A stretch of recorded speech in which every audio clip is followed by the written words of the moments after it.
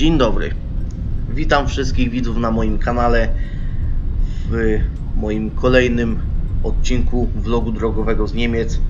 Dzisiaj trzeci odcinek, w którym omówię kwestie takie jak wyprzedzanie przez samochody ciężarowe na autostradach i infrastrukturę autostradową i parkingi dla samochodów ciężarowych. Zapraszam. Wyprzedzanie przez samochody ciężarowe na autostradach. Wzajemne wyprzedzanie się pojazdów ciężarowych powyżej 7,5 tony na autostradach jest dozwolone pod pewnymi warunkami. Różnica prędkości między samochodami wynosi co najmniej 10 km na godzinę, a długość trwania manewru nie trwa dłużej niż, niż 45 sekund. W praktyce w razie ewentualnego rozliczenia mandatowego służby biorą pod uwagę czas trwania manewru wyprzedzania. Zakazy wyprzedzania stosowane w Niemczech w większości są godzinowe, ale także w okolicy dużych miast są wyświetlane zakazy w zależności od pory dnia i natężenia ruchu na autostradzie na tablicach zmiennej treści.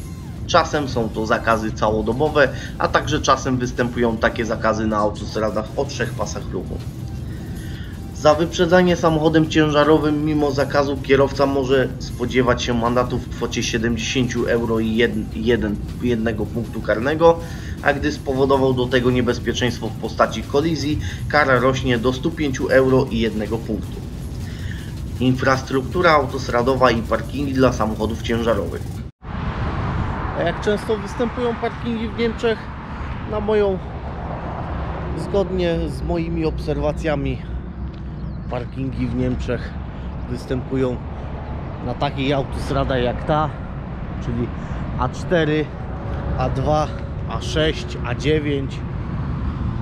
Takie parkingi występują średnio co 10 km, ale są też miejsca w Niemczech, autostrady w Niemczech, gdzie takie parkingi występują rzadziej, na przykład co 30 km. Czyli na przykład powiedzmy sobie na przykład tak jest na autostradzie A93 i tam rzeczywiście takich parkingów jest mało. Są też parkingi z typowo ze stacjami benzynowymi, także na których jest o wiele więcej miejsca niż na przykład na tym parkingu. Na autostradach o dużym natężeniu ruchu parkingi występują średnio co 10-15 km, a parkingi ze stacją benzynową średnio co 50 do 100 km. Na autostradach o mniejszym natężeniu ruchu parkingi potrafią występować rzadziej niż 30 km. Autostrady mają przeważnie 3 pasy ruchu, a w okolicy dużych miast nawet 4 pasy ruchu. Autostrady dwupasmowe występują w bliskiej odległości granic niemieckich lub na autostradach o mniejszym natężeniu ruchu.